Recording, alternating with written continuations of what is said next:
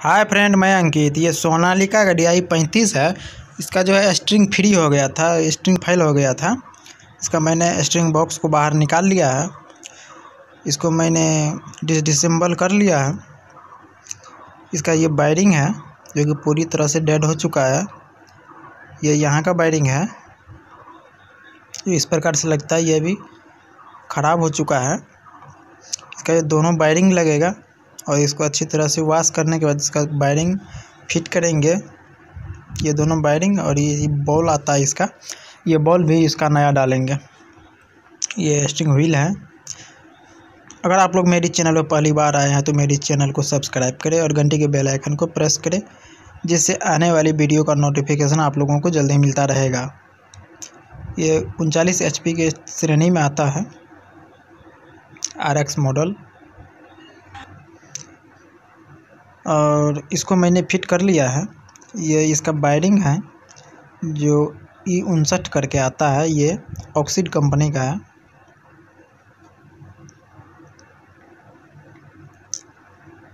ये वायरिंग इसका किट आता है। दोनों साइड वायरिंग का कन को हम डाल देते हैं। इसके बाद हाउजिंग में कन डाल देते हैं। ये हाउजिंग में एक कन यहाँ लगता है। इसके बाद थोड़ा सा ग्रीस लगा के ये बॉल वायरिंग को इसमें रख देते हैं और कन को साफ्ट में ठोक लिए हैं। इस कन को इसमें, इस साफ्ट को इसमें लगाना है।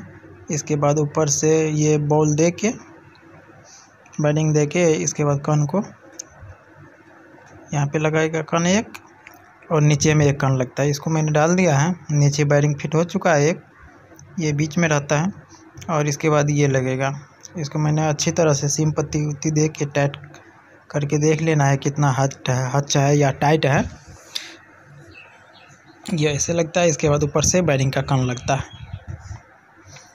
इसके बाद स्ट्रिंग का पाइप लगता है। साफ्ट के ऊपर से जो लगता है। इसको प्रेस करेंगे। ये आसानी से चला जाएगा। ये साफ्ट को फिट कर दिए हैं। इसमें एक सिंपति लगा है, जो कि प्ले नहीं रहना चाहिए साफ्ट और फ्री भी रहना चाहिए।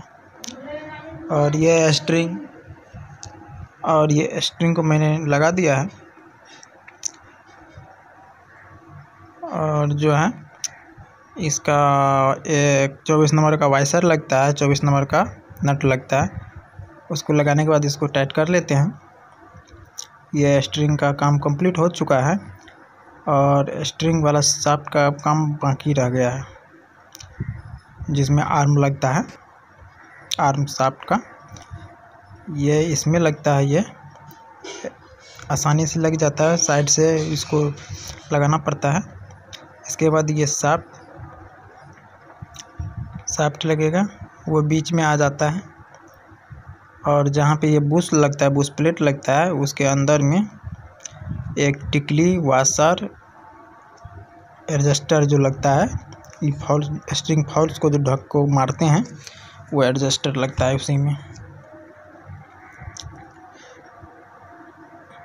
इसको तब तक सीधे दिशा में रख लेते हैं अच्छा से। ये जो है, जहाँ पे बुश लगता है, उसके अंदर में जो हॉल है, वहाँ पे लगेगा। तब तक यहाँ रखे हैं, यहाँ नहीं लगता है। इसमें लगेगा ये, ग्रीस लगा के वहाँ रख दिए थे। इसमें मैंने इसको डाल दिया है। इसके बाद इसका प्लेट लगाएँगे, सिलिकन ट्यूब लगाने के बाद। मैंने सिलिकन ट्यूब लगा दिया है उसमें थोड़ा सा ग्रीस लगा लेना है। इसके बाद तेरह नंबर का बोल्ट लगता है। साढ़े तेरह नंबर का बोल्ट को मैंने लगा दिया है। स्टिंग एडजस्टर भी यहाँ पे उन्नीस नंबर का बोल्ट लगता है, चौबीस नंबर का चक बोल्ट, चक नट लगता है।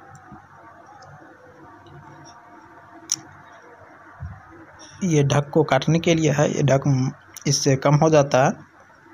ज़ीरो ज़ीरो करना है तो टाइट करते जाएँगे जैसे स्टिंग जाम भी ना हो। ये कंप्लीट हो जाएगा, ये टाइट हो गया है। इसके बाद यहाँ पे एक इस प्रकार से ढक्कन लगता है। कंप्लीट हो गया मेरा